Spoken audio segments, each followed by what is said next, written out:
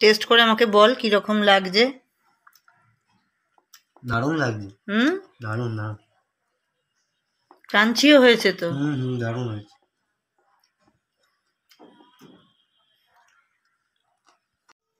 নমস্কার বন্ধুরা পৌলমিস cooking and baking এর আরও একটি পর্বে তোমাদের সকলকে সাদর আমন্ত্রণ জানাই। আজকে আহ, দুপুরবেলায় ডাল ভাতের সাথে আমরা সাধারণত তো আলু ভাজা খাই বা ফ্রেঞ্চ ফ্রাই খাই। সেই ফ্রেঞ্চ ফ্রাইটাই আজকে আমি করব। এই গাজর দিয়ে। শীতের মিষ্টি গাজর। যেরকম ভাবে আমরা সাধারণত ফ্রেঞ্চ ফ্রাই করে থাকি ঠিক সেইভাবেই কিন্তু আমরা এই গাজরের ফ্রেঞ্চ ফ্রাই করব।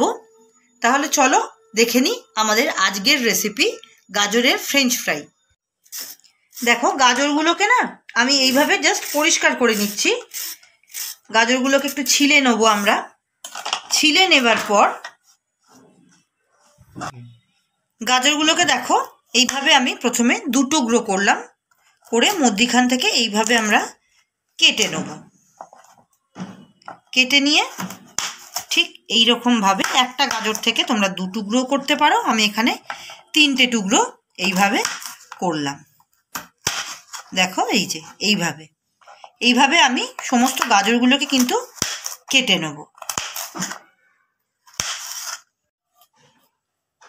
আর রোজ রোজ একঘেয়ে আলুর ফ্রেঞ্চ ফ্রাই খেতে খেতে আমাদের আর ভালোও লাগে না। আর যেহেতু অনেকটাই ক্যালোরি আমাদের শরীরে যায়, অবশ্যই তোমরা বলবে যে, দিদি, এটাও তো ফ্রেঞ্চ ফ্রাই তাহলে আর ক্যালোরির কি রইল? তবু যেহেতু এখন শীতকাল, মিষ্টি গাজরটা পাওয়া যায়। আর অবশ্যই গাজরের তো একটা নিজস্ব ফুড ভ্যালু রয়েছে। সেই কারণে ভাবলাম যে, তাহলে গাজরের ফ্রেঞ্চ ফ্রাই একটু আজকে করে দিই, আলুর বদলে দেখা যাক।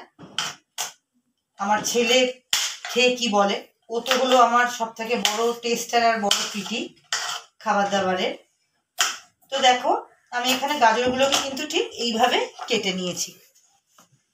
আমার ফ্রেঞ্চ ফ্রাইয়ের জন্য গাজরগুলো রেডি এটাকে আমি আরেকটু সুন্দর করে আরেকটু ধুয়ে, ধোয়াই আছে, কিন্তু তাও আর একবার আমি এটাকে ধুয়ে নেব। ধুয়ে তারপর দেখো, আমি একটা মশলা এই গাজরের ভেতর দেবো। প্রথমে দেখো, আমি গাজরটা দিয়ে দিলাম, পরিমাণ মতো নুন। দিয়ে দিচ্ছি খুব সামান্য পরিমাণ হলুদ গুঁড়ো, সামান্য পরিমাণে লঙ্কা গুঁড়ো।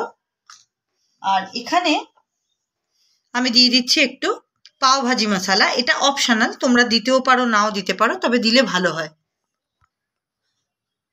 আর দেখো, এখানে আমি নিয়ে নিয়েছি এক চামচ ময়দা। জাস্ট এটাকে একটু বাইন্ড করার জন্য দিয়ে এটাকে আমি কিন্তু ড্রাই অবস্থাতে এইভাবে ভালো করে মেখে নেব। এবারে আমার কিন্তু এটা একদম রেডি হয়ে গেছে ভাজার জন্য গাজরের ফ্রেঞ্চ ফ্রাই তো এবারে আমি, চলো চলে যাই ফ্রেঞ্চ ফ্রাইটাকে ভাজার জন্য রান্নাঘরে। তো দেখো ফ্রাইং প্যানে কিন্তু আমি তেল দিয়ে দিয়েছি আর তেলটা আমার যথেষ্ট গরম হয়ে গেছে। এবারে আমি ফ্রেঞ্চ ফ্রাইগুলোকে এক এক করে এইভাবে ছেড়ে দেবো। খুব সহজ। যেদিনকে কিছু রান্নাবান্না সেরকম করতে ইচ্ছা করবে না শীতকালে, একদিন অবশ্যই কিন্তু এইরকম ডাল ভাতের সাথে গাজরের ফ্রেঞ্চ ফ্রাই ট্রাই করো। প্রথম দিন অল্প করেই করো।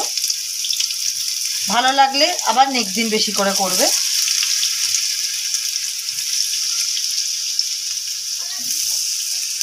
প্রথমেই আঁচটাকে আমরা খুব জোরে করে দেবো না, কারণ যেহেতু গাজরটা একদম কাঁচা গাজর মিডিয়াম টু লো ফ্লেমে এটাকে আমরা একটু পাঁচ থেকে দশ মিনিট খুব ভালোভাবে হালকা হাতে কিন্তু এটাকে আমরা ফ্রাই করব। আমার ফ্লেমটা একদম মিডিয়াম টু লো আছে। আর ময়দাটা দেওয়ার জন্য দেখো, গায়ে কিন্তু মশলাটা সুন্দরভাবে কোট হয়েছে। আর এটাকে তোমরা এবার আমাকে একটু দেখা আর দেখো, যেহেতু আমি এখানে ময়দা দিয়েছি, সেই কারণে কিন্তু মশলাটা সুন্দরভাবে গায়ে কোট করে রয়েছে। আর তোমরা চাইলে এখানে চালের গুঁড়ি বা একটু কর্নফ্লাওয়ারে দিতে পারো। কিন্তু আমি একদম সিম্পল ভাবে আমি যেরকম ভাবে বাড়িতে সাধারণত গাজরের ফ্রেঞ্চ ফ্রাই করি, আমি সেইভাবেই করলাম। আর চালের গুঁড়ি সবসময় দিলে কি হয়, তেলটা অনেকটা বেশি টানে। তো সবসময় সেটাও কিন্তু খাওয়া ভালো নয়। তো একদম সিম্পল ভাবে নর্মাল ভাবে একটু মশলা আর ময়দা মাখিয়ে আমরা এইভাবে ফ্রেঞ্চ ফ্রাইটাকে একদম মিডিয়াম টু লো ফ্লেমে করব। কারণ একদম প্রথমেই আমরা জোরে দিলে কিন্তু ফ্রেঞ্চ ফ্রাইটা ওপর থেকে লাল হয়ে যাবে, কিন্তু ভেতরটা কুক হবে না। তো এটাকে এইভাবে মিডিয়াম টু লো ফ্লেমে আমরা পাঁচ থেকে দশ মিনিট একটু কুক করব। দেখো, আমার কিন্তু এটা ভালোভাবে ভাজা হয়ে যাচ্ছে। বেশ লালচে লালচে রঙও কিন্তু ধরেছে। দেখো, আর মিনিট দুই তিনেক ভেজে নিলেই কিন্তু আমাদের গাজরের ফ্রেঞ্চ ফ্রাই একদম রেডি হয়ে যাবে। আমার কিন্তু গাজরের ফ্রেঞ্চ ফ্রাই একদম রেডি হয়ে গেছে। আমার এটা কিন্তু একদম ভালোভাবে কুক হয়ে গেছে আর এখন কিন্তু ফ্লেমটাকে একদম হাইতে রাখবে, নইলে অনেকটা তেল কিন্তু শুষে নেবে। যখন আমরা কোনো কিছু ডিপ ফ্রাই করে তুলবো, তার আগে কিন্তু অবশ্যই ফ্লেমটাকে একদম হাইতে রাখবে। আমার কিন্তু দেখো, গাজরের ফ্রেঞ্চ ফ্রাই রেডি এবার এটাকে আমি এক এক করে এইভাবে তুলে নেব।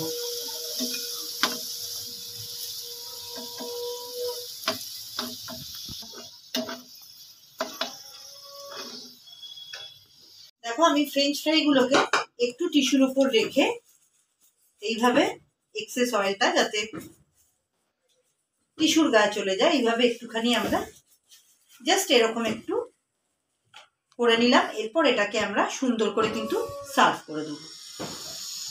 আমার আজকের রেসিপি গাজরের ফ্রেঞ্চ ফ্রাই কিন্তু দেখো একদম রেডি টু সার্ভ আমি এখানে একটু ধনে পাতা আর একটু কাসুন্দি দিয়ে সার্ভ করলাম। তোমরা চাইলে এখানে টক দই বা টক দই মেয়োনিজের ডিপ অথবা টমেটো কেচাপ যে কোনো কিছু দিয়েই কিন্তু সার্ভ করতে পারো।